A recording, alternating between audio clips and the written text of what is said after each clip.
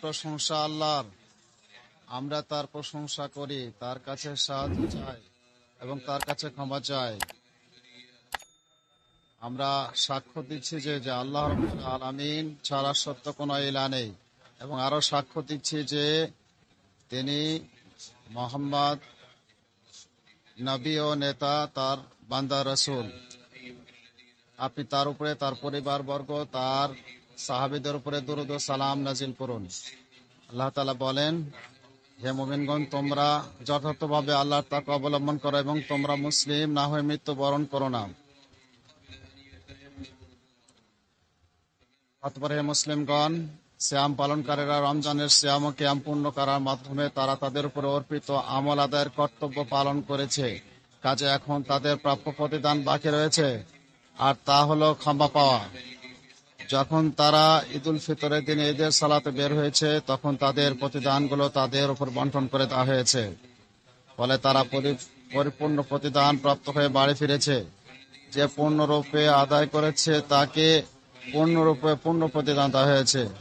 যে ব্যক্তি তার উপরে অর্পিত দায়িত্ব পরিপূর্ণভাবে বুঝিয়ে দিয়েছে, নগদে তাকে পূর্ণ, পরিপূর্ণ বিনিময় দান করা হয়েছে। বিলম্ব করা হয়নি। যে কম করেছে, সে কম পেয়েছে। আর যে ব্যক্তি ওজনে কম দেয়, আপনারা তা জানেন ওজনে কম দানের ব্যাপারে কি বলা হয়েছে। যে ব্যক্তি, সে ব্যক্তিকে লজ্জাবোধ হয় না যে তার প্রবৃত্তির মাপ পূর্ণ মাত্রায় দেয়, অথচ সে তার কেয়াম ও সিয়ামে, সিয়ামের মাপে কম দেয়। এটা তো সবচেয়ে নিকৃষ্ট তো চুরি। কাজে দুর্ভোগ সে সালা আদায়কারীদের, যারা তাদের সালাদ সম্বন্ধে উদাসীন। সালাফি সালেহিনগণ পূর্ণরূপে ও বিশুদ্ধভাবে আমল করার চেষ্টা করতেন। অথবা তা, অথবা তারা তা কবুল হওয়ার ব্যাপারে চিন্তিত এবং প্রত্যাখ্যাত হওয়ার আশঙ্কা করতেন। মহান আল্লাহ তালা বলেন, নিশ্চয় যারা তাদের রবের ভয়ে স্বতন্ত্র আর যারা তাদের রবের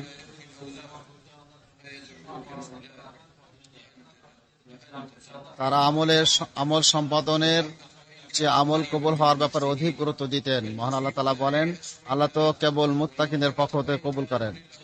সুতরাং তাদের নিকট সরিষার দানা পরিমাণ আমল কবুল হওয়া দুনিয়া দুনিয়ার মাঝে যা কিছু আছে তার চেয়ে বেশি প্রিয় ছিল। সুতরাং সতর্ক থাকতে হবে যেন আমল একমাত্র আল্লাহর উদ্দেশ্যে হয় এবং তা কবুল না হওয়ার ব্যাপারে আশঙ্কায় থাকতে হবে। সালাবগঞ্জ ছয় মাস দোয়া করতেন যেন আল্লাহ তাদেরকে রমজান মাসে উপনীত হওয়ার তৌফিক দান করেন। আর ছয় মাস দোয়া করতেন যেন আল্লাহ তাদের থেকে কবুল করেন। আল্লাহ তালা রমজান মাসকে একটি ক্ষেত্র বানিয়েছেন, যেন মানুষের এই মাসে তার সন্তুষ্টির উদ্দেশ্যে এবাদতে প্রতিযোগিতা করতে পারে। কাজেই একদল লোক কাজে একদল লোক প্রতিযোগিতায় বিজয়ী হয়ে সফল কাম হয়েছে, আর অন্য দল পরাজিত হয়ে ক্ষতিগ্রস্ত হয়েছে। সুতরাং বিস্ময় সে প্রতিযোগী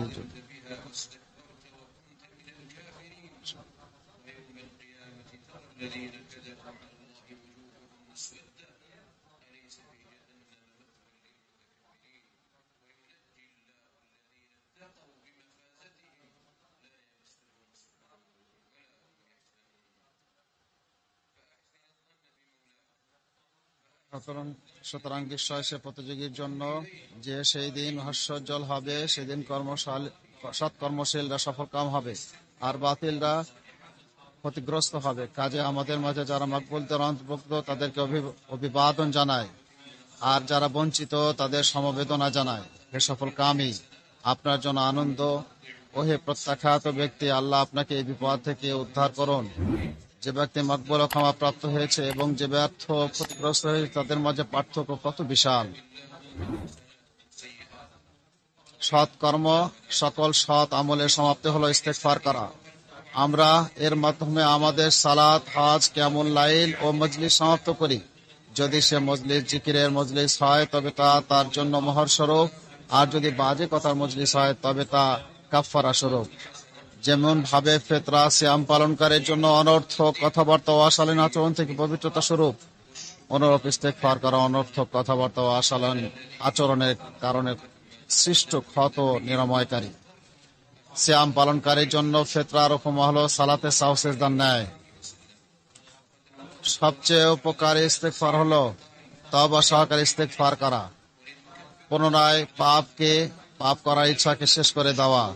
বস্তুত যে লোক, বস্তুত যে লোক মুখে ইস্তেকফার করে কিন্তু তার অন্তরে পাপের কাজের প্রতি দৃঢ় সংকল্প থাকে এবং তার ইচ্ছা এক মাস পর আবারও সে পাপ কাজে ফিরে আসবে, তবে তার শ্যাম প্রত্যাখ্যাত হওয়া তার জন্য মকবুলের দ্বার বন্ধ হওয়া সম্ভব অধিক। এ ধরনের কথা বলা থেকে নিষেধাজ্ঞা এসেছে।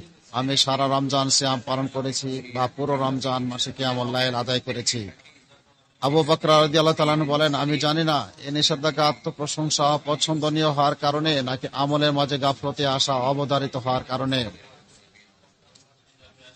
আল্লাহ আমাকে আপনাদেরকে কোরআন কারিমে বারাকা দান করুন। আপনার আল্লাহর কাছে ক্ষমা করুন। নিশ্চয় তিনি ক্ষমাশীল পরম দয়ালু।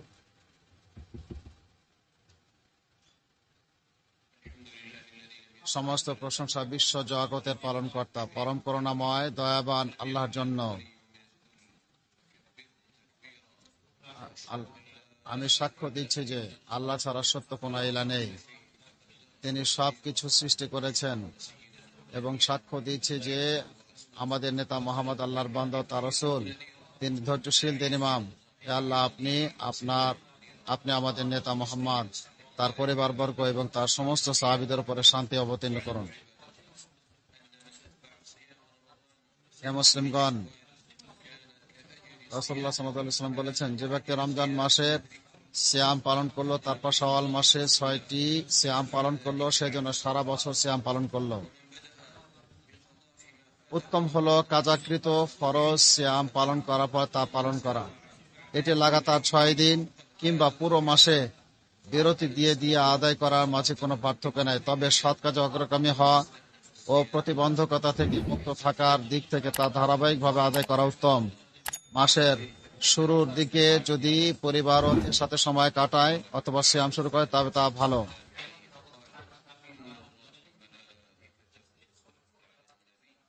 আল্লাহ, আপনি আল্লাহর বান্দাগণ নিশ্চয় আল্লাহ নবীর প্রশংসা করেন এবং তার ফেরেস্তাগণ নবীর জন্য দোয়া ইস্তেগফার করুন। হে মান্দাগণ তোমরাও নবীর পরে সালাদ পাঠ করো এবং তাকে যথাযথভাবে সালাম জানাও।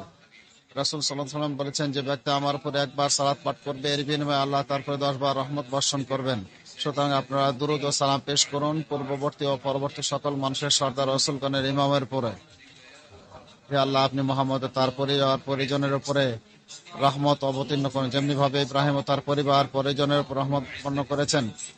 হে আল্লাহ, আপনি ইসলাম ও মুসলিমদের সম্মানিত করুন, কুফুর ও কাফের দ্বারা অপদস্থ করুন এবং আমাদেরকে আপনার নবী মোহাম্মদ ইসলামের সুন্নত আঁকড়ে ধরা তৌফিক দান করুন। যেমনটি আপনি পছন্দ করেন ও ভালোবাসেন। আর আমাদের উপরে আপনি সন্তুষ্ট থাকা অবস্থায় এর উপরে আমাদেরকে মৃত্যু দিন, হে মহা অনুগ্রহশীল। হে আল্লাহ, আমরা আপনার নিকট জান্নাত ও যে কথা জান্নাতের নিকটবর্তী করে দেয় তা চাচ্ছি।